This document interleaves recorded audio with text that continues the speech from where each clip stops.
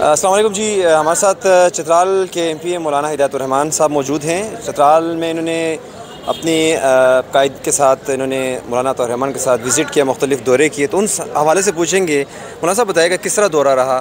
کیا کیا مسائل کی نشاندہی کی گئی؟ اور اس حوالے سے جو مسائل وہاں پر، جیسے روڈ کا ہو گیا، دیگر جو پانی کے مسئلے، اس حوالے سے کوئی پیش رفت ہوئی ہے؟ محترم، یقیناً آپ کے علم میں ہوگا، جیسے مرکز میں ہماری کولیشن حکومت آئی ہے۔ اس کے بعد سے میں اپنا زیادہ ٹائم مرکز میں لگا رہا ہوں۔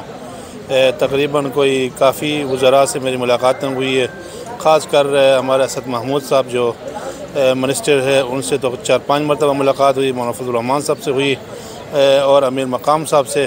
اور چونکہ چترال کے مختلف ایشوز سے، اس میں خاص کر جو روٹوں کا ایشوز ہے، وہ ہمارے لیے بہت زیادہ اہمیت کا حامل ہے۔ اس سلسلے میں میں نے مولانا الرحمان صاحب کو بھی کچھ ہمارے جو مرکزی رہنما ہیں، ان کے ساتھ چترال کا دورہ بھی کرایا۔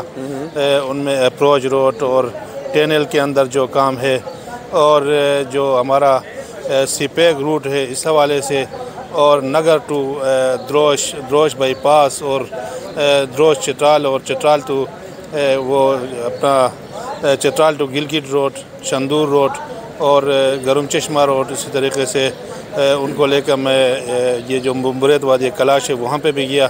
اور یہ تمام حوالے سے میں نے دو تین دن اس کے ساتھ گزارا اور ان کو بریفنگ دی۔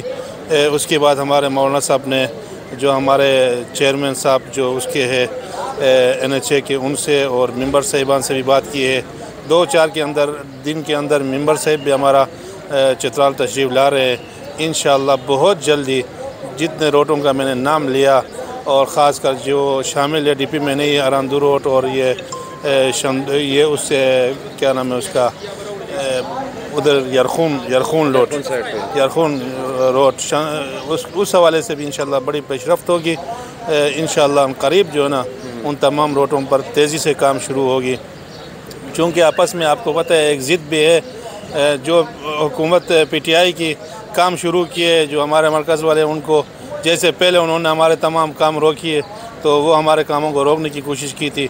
تو میں نے جو نا اس حوالے سے کہہ سکتے ہیں ابھی آپ کی حکومت ہے مواصلات یہ روڈ وغیرہ آپ کے پاس ہیں۔ انشاءاللہ اس سال کے اندر دعوے سے میں کہتا ہوں بہت بڑی تبدیلی انشاءاللہ روڈوں کے حوالے سے چترال میں آئے گی۔ صاحب پانی کا بہت ایشو ہے اس حوالے سے کیا کر رہے ہیں؟ پانی کے حوالے سے بھی میں نے ڈسکس کی ہے وزیر اعظم صاحب سے خاص کر کے ہمارا جو موڑ کو کوسٹ کاکلش اریگیشن چینل ہے اس کے حوالے سے چونکہ یہ چترال میں میرے خیال میں سب سے بڑا پروجیکٹ سب سے اہمیت کا حامل بھی یہی ہے۔ اس حوالے سے بھی میری ڈسکس امین مقام صاحب سے بھی ہوئی ہے اور وزیر اعظم صاحب تک میں نے بات پہنچائی ہے اور انشاءاللہ چند دن میں خوشخبری ملنے والی ہے کہ اس کے لیے فنڈ مختص ہو رہے ہیں اور اجنو والے جو احتجاج کر رہے ہیں وہاں کے پانی کا ایشو اس کے حوالے سے اس کے حوالے سے بھی میں نے پیش رفت کی ہے انشاءاللہ وہ ہمارے جو وہ ہے اے ڈی پی کے حوالے سے میں نے بات کی پبلک ہیلتھ میں انشاءاللہ وہ منظور ہو جائے گا۔ اس کے لیے کوئی چار پانچ کروڑ روپے کی میں نے درخواست جمع کی تھی وہ تقریباً منظور ہونے والا ہے۔